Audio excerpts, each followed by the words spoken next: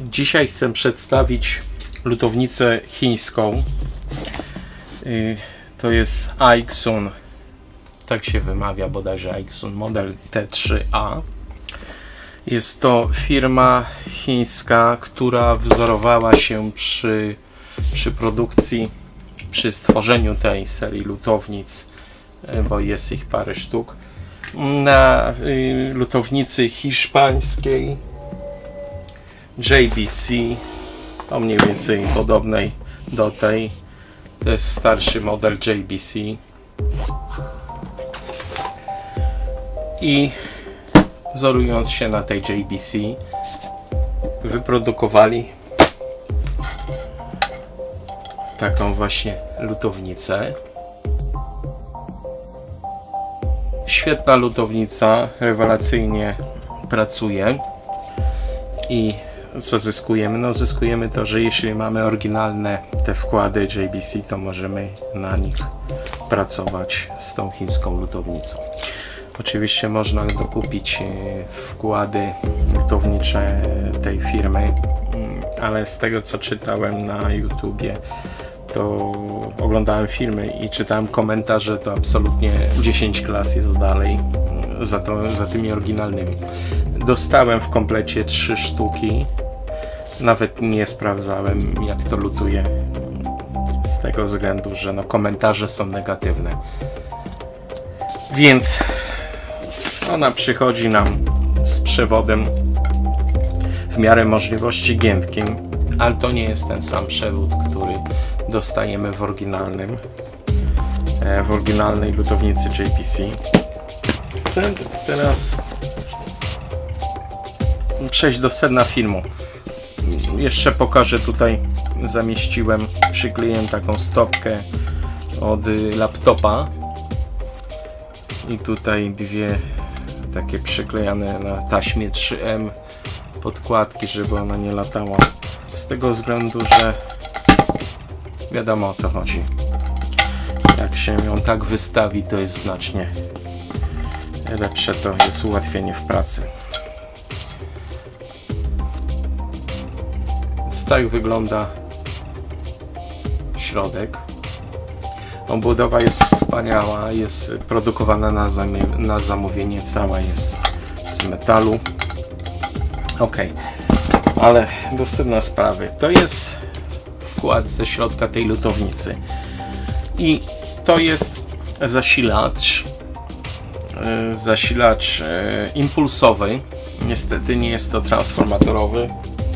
Tak jak tutaj w, w, tym, w tej starego typu lutownicy jest e, zasilacz na trafie 70 W moc trafa. Natomiast tutaj jest e, uzyskana ta moc poprzez elektronikę. Producent podaje, że tu jest moc 200 W.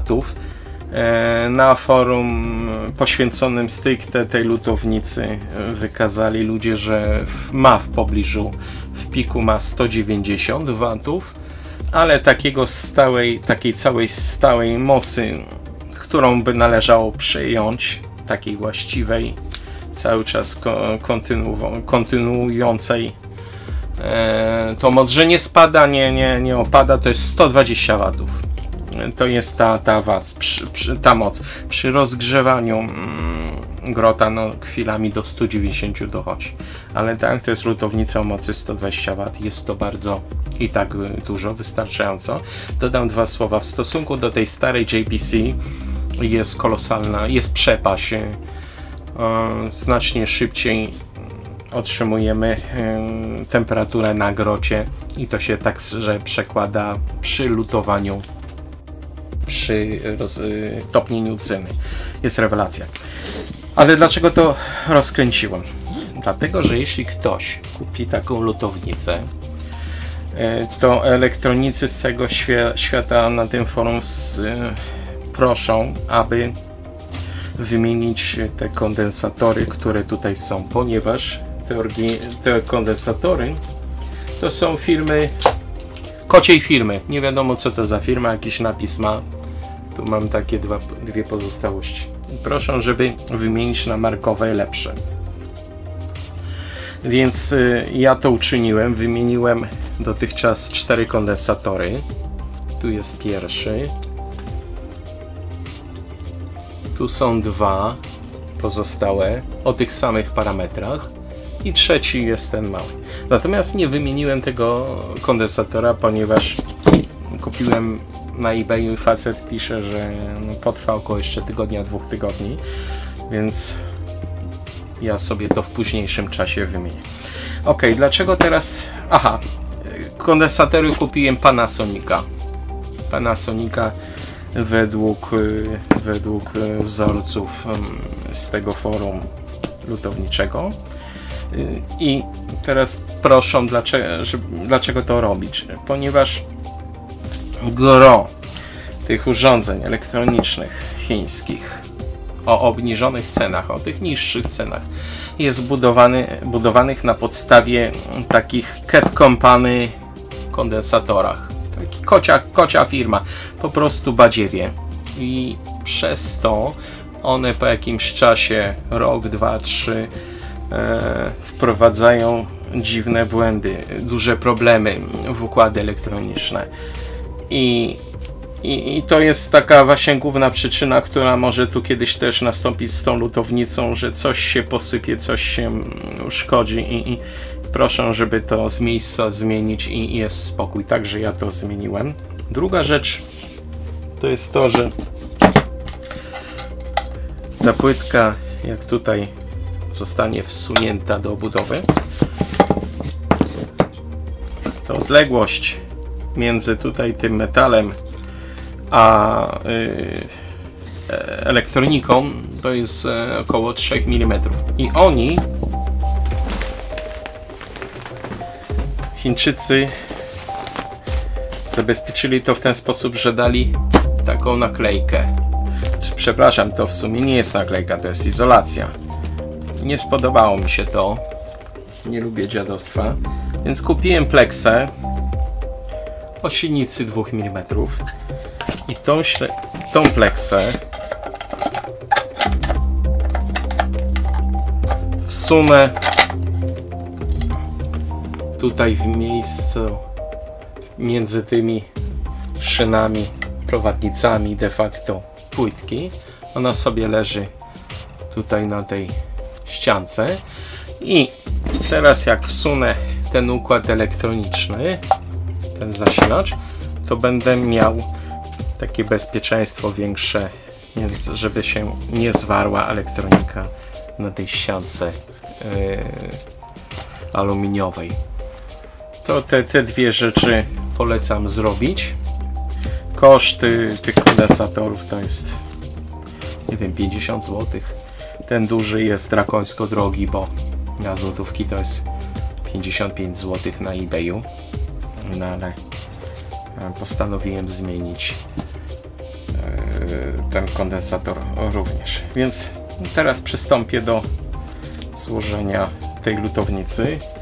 Nie jest to skomplikowane, ponieważ zasilacz jest połączony tutaj z tą płytą takim przewodem dosyć krótki i muszę użyć długiej pensety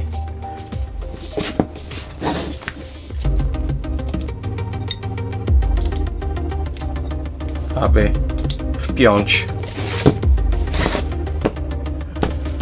tutaj w te w dwa piny, które znajdują się po, po lewej stronie na tej kostce białej.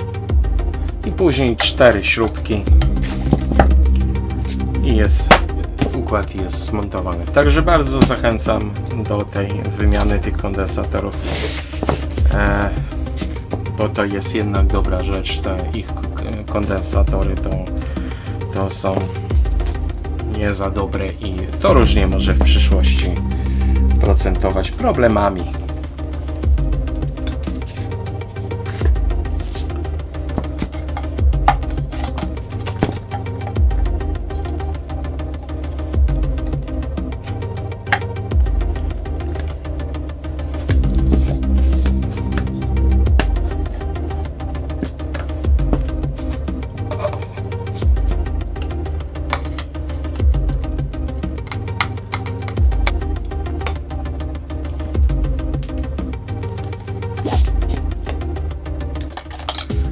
No, posłużyłem się takimi szczypcami.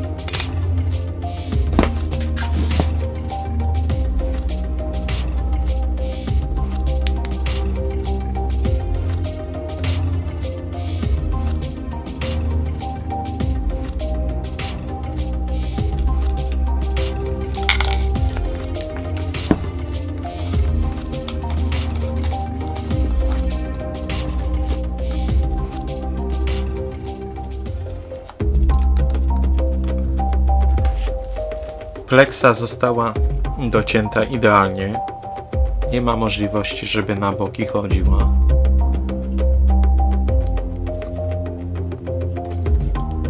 I w tej chwili ten przewód trzeba tutaj przykręcić do tej śrubki. To jest uziemienie.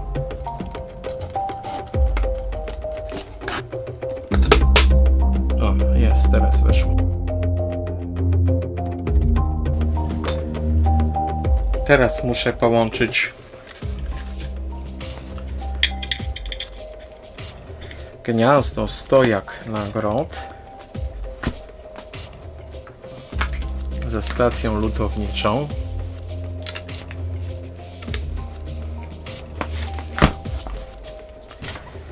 Już mam umieszczony wewnątrz grot lutowniczy, wkład. Y, czemu obwinąłem tą, ten uchwyt? No dlatego, że gdy się nagrzeje ta odczuwalna, e, ta temperatura mm, w odczuciu moim jest zbyt duża w stosunku do oryginalnej lutownicy JBC i mam takie nieprzyjemne doznania w związku z tym dlatego owinąłem ją specjalnie taką taśmą, która nie pochodzi nie przyjmuje ciepła. Więc teraz muszę taki przewód bardzo cienki włożyć tutaj w czujnik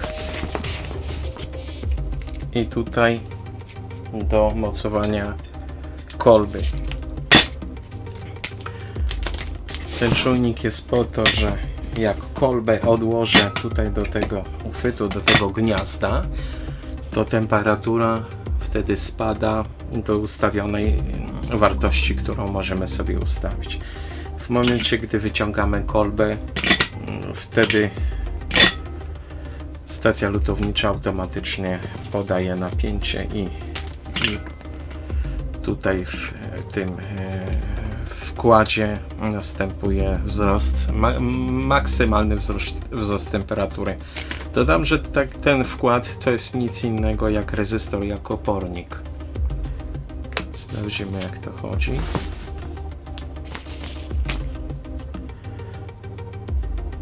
To jest standardowa procedura, pikuje do 260. JBC tak samo robi. Wartość jest ustawiana na 200 w spoczynku i to zejdzie do 200. Czy jest temperatura 200 stopni yy, we wkładzie lutowniczym? Tego jeszcze nie wiem. Żeby to sprawdzić, yy, należy mieć specjalne urządzenie, które, z którym się sprawdza temperaturę. Zamówiłem takie urządzenie i teraz czekam, jak przyjdzie z Chin. Wtedy sobie sprawdzę. A dlaczego? Bo tu jest możliwość skalibrowania sobie wszelakich temperatur i wtedy sprawdzamy przy temperaturze powiedzmy 250, 280, 300 i tak dalej i kalibrujemy. Więc teraz ustawimy na Aha, tutaj jest na 370 stopni. I w momencie, gdy wysunę z uchwytu, momentalnie jest 370. Pikuje do 410, ale ona sobie zaraz opadnie. To jest standardowe zjawisko we wszystkich markowych lutownicach, celem, żeby jak najszybciej, żebyśmy dostali temperaturę na,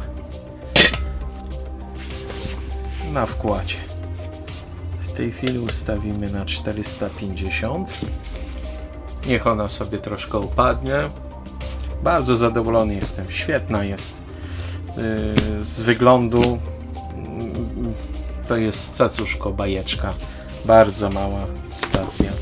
Tutaj ma gniazdo USB, którym USB-C, którym możemy de facto e, wgrać soft, który też udało mi się wgrać najnowszy. To nie jest film instruktażowy, jak działać z tej stacji, jak, e, jak obsługiwać tą stację, jakie parametry ma. Nie, nie, nie celem jest tego filmu. Filmów instruktażowych o tej stacji jest sporo. Ja chciałem tylko pokazać, że trzeba jednak wymienić te kondensatory i zrobić, e, poprawić e, tą izolację, dać pleksę, bo tamta e, ta izolacja no, nie jest przekonująca. Więc teraz z powrotem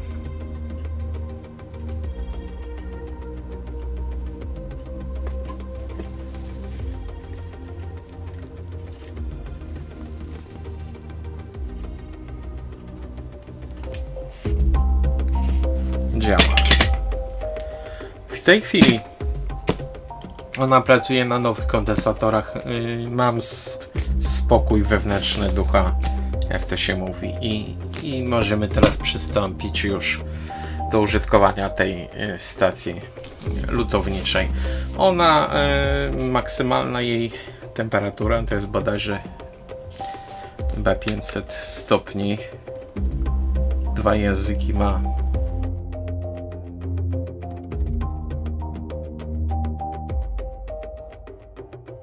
oryginalnie przychodzi z językiem chińskim. Soft to jest i1.26 model softu. Co jest ciekawe, jak ona teraz sobie odpoczywa, tak, włożona tutaj w uchwyt, ja mogę temperaturą regulować. Tutaj jest taki mały wyświetlacz. Takie, znaczy nie mały wyświetlacz, tylko okienko z wyświetlaczem. Są problemy z ostrzeniem. Proszę zwrócić uwagę, że sobie ja mogę ustawić 460, tak? I nie, nawet ta temperatura niech będzie 500.